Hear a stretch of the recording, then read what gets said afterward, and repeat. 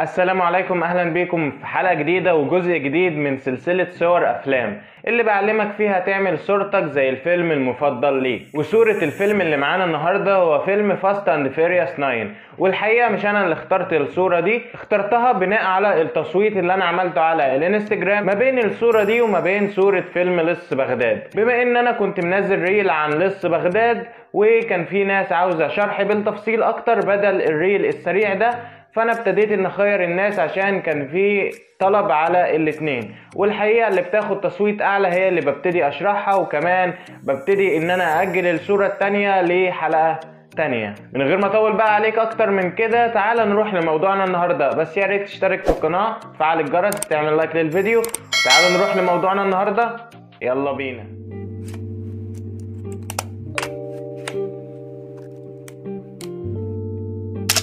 أول سؤال هيواجهنا وإحنا بنعمل الصورة دي وهي إزاي نجيب المرفقات والملحقات بتاعة الصورة دي. أول حاجة هنبتدي نشوفها وهي الواخدة مساحة أكبر وهي العربية أو العربيات اللي بيستخدموها في الفيلم ده بشكل عام. هتبتدي إنك أنت تكتب على جوجل Fast and Furious 9 cars. أول ما تبتدي تكتب الجملة دي هيبتدي يطلع لك صور كتيرة العربيات تبتدي تختار طبعا العربية اللي أنت شايفها تكون مناسبة ليك. وأول ما تختار العربية الكويسة ليك هتبتدي تخش على تطبيق PhotoRoom وتبتدي إنك أنت تفرغ الخلفية بتاعة صورة العربية دي. وهنبتدي بقى نجيب بقية الملحقات. زي مثلا السموك اللي هم عملوه في ال cover بتاع الجزء ده مخصوص. هتبتدي برضو إنك أنت تكتب على جوجل smoke color بحيث إن إحنا عاوزين ألوان كتيرة. تقدر تختار أي لون لأن أنا في الشرح كمان شوية هعلمك تغير الألوان دي بكل سهولة. وطبعا هتبتدي برضو تفرغ الخلفية من على فوتوروم زي ما عملت في صورة العربية. وهتبتدي تجيب أي صورة لأي طريق موجود يكون أسفلت مثلا عشان نبتدي إن إحنا نستخدمه في الصورة بتاعتنا. وتاني سؤال هيواجهنا وهو إزاي نتصور للصورة دي؟ تبتدي إنك أنت تتصور صورة طولية بأي شكل يعجبك. المهم إن أنت تجيب الطول بتاعك كله وتكون صورة مناسبة مع الحاجة اللي إحنا هنبتدي نعملها. نيجي بقى للجزء الأهم من الحلقة بتاعتنا النهاردة وهو الشرح. هنبتدي طبعا نستخدم فيه برنامج PicsArt عشان نبتدي نطبق فكرة الفوتوشوب. وطبعا أنا قلت لك قبل كده تطبيق PhotoRoom. المهم إن أنا التطبيقين دول هسيب لك اللينكات بتاعتهم في وصف الفيديو. تقدر إنك أنت تحملهم بشكل مباشر من على ال App Store أو من على Google Play وتعالوا بقى نروح للشرح. يلا بينا. أول حاجة هتبتدي تعملها إنك أنت هتفتح التطبيق بشكل طبيعي. بعد كده هتبتدي تنزل تحت خالص لحد الخلفيات اللي انت شايفها دي. هنختار أول خلفية على الشمال وهي خلفية PNG أو خلفية شفافة يعني بتكون من غير أي حاجة خالص للتصميم. هنبتدي نيجي هنا عند tools وبعد كده crop عشان نظبط حجم الصورة بتاعتنا. هنختار حجم أربعة إلى تلاتة ونبتدي إن إحنا ندوس على علامة الصح. كده خلصنا من أول خطوة. وهي هتكون مهمة لأن هي هنبتدي نظبط عليها المقاسات بتاعتنا. بعد كده تبتدي تيجي هنا عند اد فوتو وتجيب صورة الطريق اللي انت حملتها. بعد ما بتجيب الصورة بتبتدي انك انت تظبطها على مقاس الصورة بالظبط وتبتدي تنزلها لتحت خالص بحيث ان هي الطريق. طبعا السما دي إحنا مش هنستخدمها خالص الموجودة في الصورة ولكن لو احتاجنا نمسح منها حاجة هنمسح. وبعد كده هتبتدي تجيب الصورة اللي انت تصورتها وطبعا هتكون انت مفرغها على PhotoRoom بحيث تشيل الخلفية بتاعتها وهتلاحظ هنا إن اللوجو بتاع PhotoRoom موجود. طبعا اللوجو ده هيتشال. دلوقتي انت هتبتدي تضيف الصورة كده بتاعتك ولكن مش هنظبط الحجم دلوقتي. بعد كده هنيجي عند add photo ونبتدي نجيب صورة العربية اللي إحنا حملناها. تبتدي طبعا إنك أنت تظبط المقاس بتاعها وتخليها كبيرة زي ما أنت شايف كده ونبتدي نرجعها كده من فوق نعمل لها موف داون ورا الشخصية أو الصورة اللي أنت متصورها. طبعا هنرجعها كده لورا شوية وتبتدي إنك أنت تجيب الصورة بتاعتك بقى ونبتدي نظبط المقاس بتاعها بحيث إنك أنت تكون طويل شوية. المهم وأنت محدد على الشخصية بتاعتك تبتدي إنك أنت تيجي هنا عند حاجة اسمها شادو نبتدي ندور عليها من تحت وتبتدي تدوس عليها.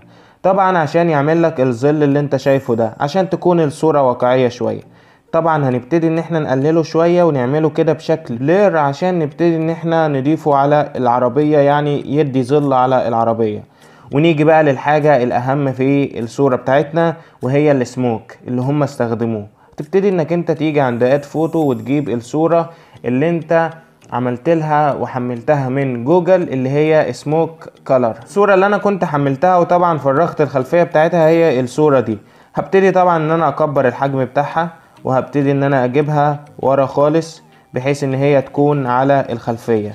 طبعا المساحة دي مش هتكفي فهبتدي إن أنا من فوق أعمل لها دبليكيت ولكن قبل ما أعمل لها دبليكيت لازم طبعا أظبط اللون اللي أنا هبتدي أشتغل عليه.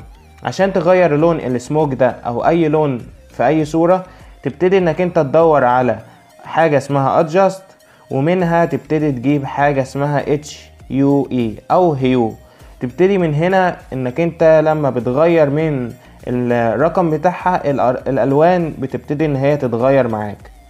ولكن عشان أنا لابس تي شيرت أصفر فهبتدي إن أنا أغير اللون لحد الأصفر زي ما أنت شايف كده.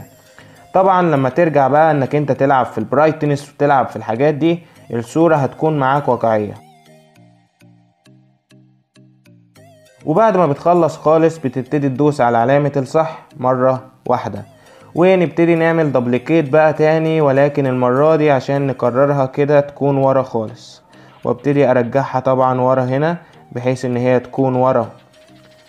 السموك الأولانية وأبتدي أعمل لها دبليكيت تاني أبتدي أعمل لها موف داون وأبتدي أعمل نفس الخطوات دي بحيث تكون الخلفية بتاعتي كده إيه متظبطة.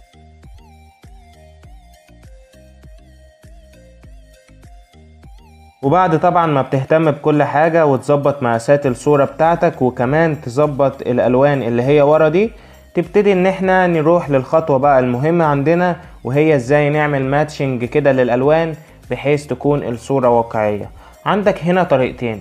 أول خطوة وهي الأسهل وهي إنك أنت تيجي هنا عند effects وتبتدي تدور على فلتر يكون مناسب. أي فلتر هيكون مناسب معاك على الصورة تبتدي إنك أنت تضيفه للصورة بتاعتك طالما أنت مستخدم صور بجودة عالية.